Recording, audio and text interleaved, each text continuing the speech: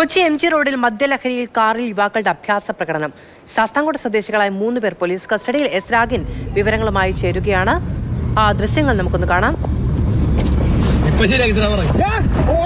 Licence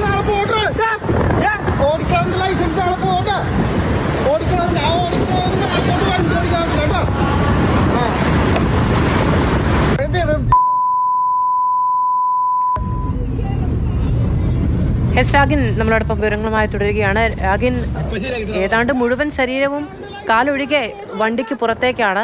ഏതെങ്കിലും ഒരു വളവ് തിരിയുമ്പോഴോ ഒരു വാഹനം ഓവർടേക്ക് ചെയ്യുമ്പോഴൊക്കെ അപകടത്തിൽപ്പെടാവുന്ന രീതിയിലുള്ള യാത്ര അതും മദ്യലഹരിയിൽ. മാധു കാറുകളിലുള്ള ഇപ്പൊ ഈ അഭ്യാസ പ്രകടനങ്ങൾ ഏറി വരികയാണ്. മൂന്നാർ ഗ്യാപ്പ് റോഡിലടക്കം നമ്മളത് നേരത്തെ കണ്ടിരുന്നതാണ്. കൊച്ചി എം ജി റോഡിലും ഇപ്പോൾ സമാനമായ രീതിയിൽ യുവാക്കളുടെ അഭ്യാസ പ്രകടനമാണ് നടന്നത്. ഇവർ മദ്യലഹരിയിലായിരുന്നു എന്നാണ് പോലീസ് വ്യക്തമാക്കുന്നത്.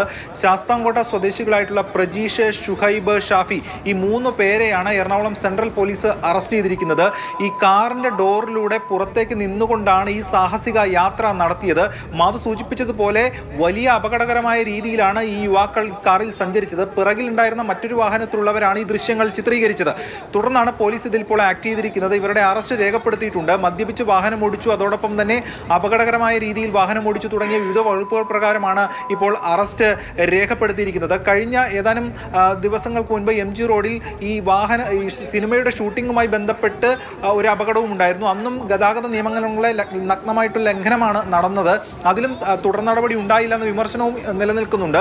അതിനിടെയാണ് എം ജി റോഡിൽ ഈ യുവാക്കളുടെ അഭ്യാസ പ്രകടനം വന്നിരിക്കുന്നത്. ഇതിൽ പല കേസുകളിലും ലൈസൻസ് സസ്പെൻഡ് ചെയ്യും റദ്ദാക്കുകയും അതോടൊപ്പം തന്നെ ഈ സാമൂഹ്യ സേവനം അത്തരത്തിലുള്ള നല്ല നടപ്പ് ശിക്ഷകളൊക്കെ നൽകാറുണ്ടെങ്കിലും ഇതിൽ കുറ്റകൃത്യങ്ങളിൽ കുറവുണ്ടാകുന്നില്ല എന്നതാണ് ഏറ്റവും പ്രധാനപ്പെട്ട കാര്യം. ഈ മൂന്ന് പേരാണെങ്കിൽ അവരൊരു ജോലി സംബന്ധമായ ആവശ്യത്തിന് ഇന്റർവ്യൂവിന് കോഴിക്കോടേക്ക് പോകാനിരിക്കുകയായിരുന്നു. അതിനിടയിലാണ് നഗരത്തിൽ വന്ന് ഇങ്ങനെ ഒരു കാര്യം കാണിച്ചിരിക്കുന്നത്. ഇവരുടെ വാഹനം പോലീസ് കസ്റ്റഡിയിലെടുത്തിട്ടുണ്ട്.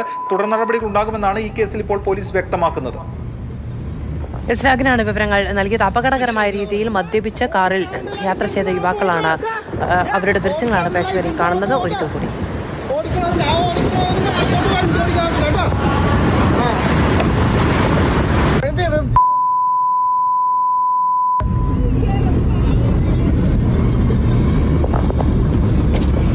ശരിയാക്കി തരാൻ പറയും.